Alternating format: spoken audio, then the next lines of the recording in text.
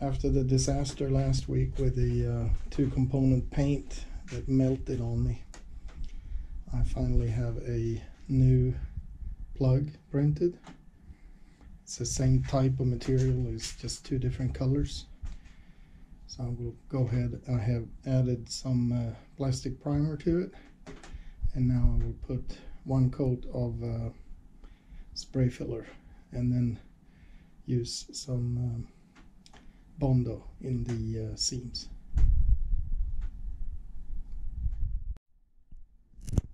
So as you can hear I'm wearing a mask.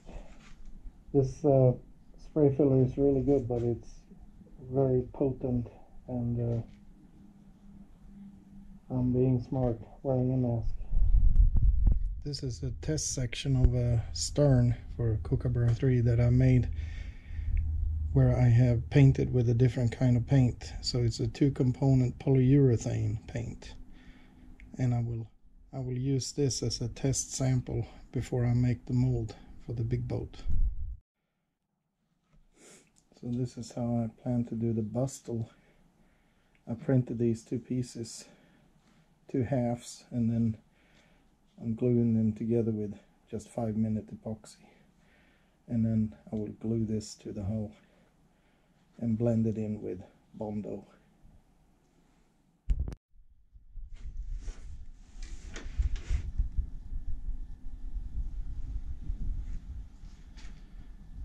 Bustle glued in place.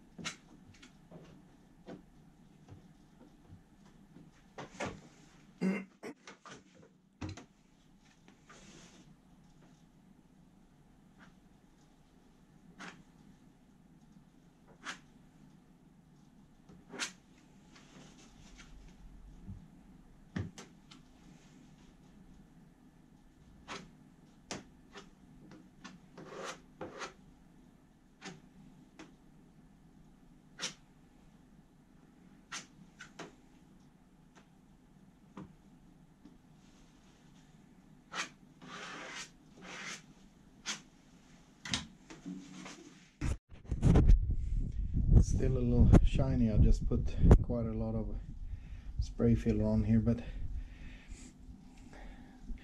this hull shape will be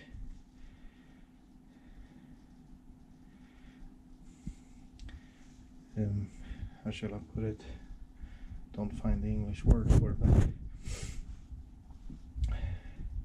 still have some more work to do to blend in the bustle but it's getting there it uh, I think it was a pretty good way of doing it. Do the hull. There's plenty of challenges in uh, 3d modeling one of these hulls and then do the bustle separate. And in all fairness I didn't get the bustle perfect but I fixed that with with the Bondo when I blended in. It had a, a few uh, low spots on it but I did one first and fixed it a little bit. So this one was a lot better but it would be cool to I have the bustle on the hull from the beginning. So pretty cool stuff. Plug number two.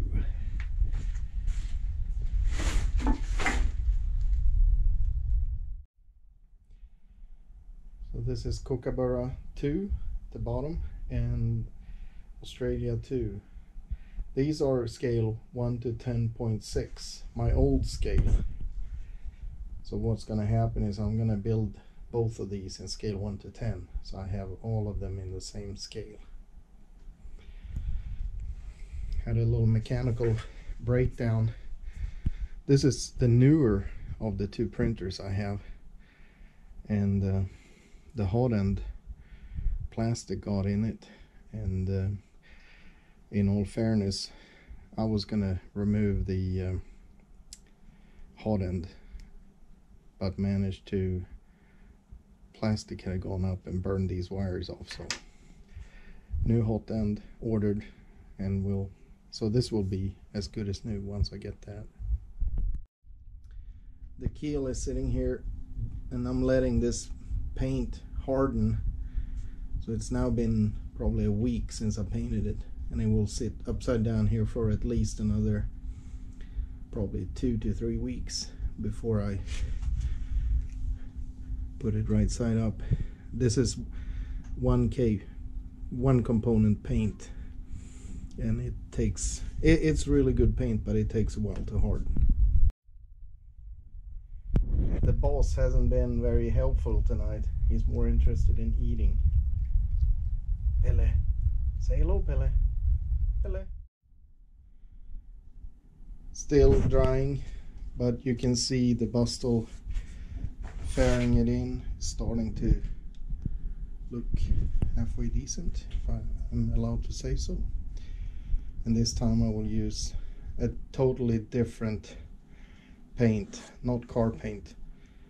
I will uh, use a poly two component polyurethane paint and I will test on a separate piece before so I'm not screwing up again I hope I want to thank everyone for subscribing and watching these poorly made and poorly edited videos. Thanks very much. I think by now you have figured out that I'm not a professional, but I love what I do.